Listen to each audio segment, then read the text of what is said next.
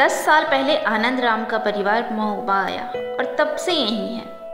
राजस्थान के रहने वाले आनंद राम सफ़ेद सीमेंट की मूर्तियाँ और खिलौने बनाने का काम करते हैं। इनकी कलाकारी पे किसी का भी मन मोहित हो जाए। कब से बना रही हैं आप मूर्ति? हमको दस साल हो गया। यहाँ मूर्ति बनाते दस साल हो गया। आपने ये कहाँ से सीखा मूर्ति बनाना? हमारा गाँव से राजस्थान में।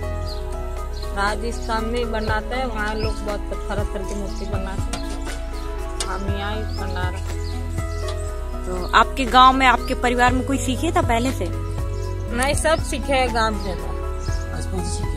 बचपन में लोग बहुत वहाँ काम करते हैं ना पूरा वहाँ पत्थर का मार्बल भी पत्थर का बनता। वहाँ सीखे थे। फिर फ्रेम बनाओ फिर अपना चलाओ जैसे ही। फ्रेम बनाओ फिर मूर्ति निकालो बीस सौ।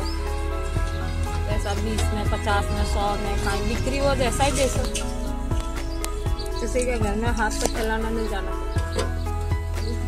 तो आपको राजस्थान की मोहब्बत कैसे आ गई? हम तो ऐसे घूमते रहते हैं कानपुर समेतपुर भड़वा घाटमपुर इलाहाबाद लखनऊ सब जगह घूमे। ऐसे घूमते घूमते यहाँ दस साल हो गया ऐसे कहीं दो महीना कहीं महीना कहीं चार महीना ऐसे रुकते। यहाँ तो दस साल हो गया एक जगह पड़े जैसे भगवान रोटी दे वहाँ दाल रोटी खाओ वहाँ प्रभु का गुण गाओ। आप कौन कौन सी मूर्तियाँ बनाती हैं? हम राधा किशन है किशन जी है ये तोता है मिट्टू है फ्लोर पॉट है छोटा वाला खरगोश है हिरण है बउआ है जलपरी है ऐसे सब बनाते हैं। जैसे आपके परिवार में कोई मिट्टी का खिलौना बनाता है? पूरा परिवार बनाता है। हमारे गाँव में बहुत लोग बनाते हैं। हमारे गाँव में खेती बाड़ी नहीं है। तो क्या करें? मुकाम है तो मुकाम भी कच्चे हाँ। तो जैसे आपने बताया कि आपने मिट्टी तेल और ये कलर तो ये सारा चीज़ कहाँ से मंगाती हैं? बाज़ार से। मोहब्बत से या बाहर से? कलर तो लाता है जयपुर से।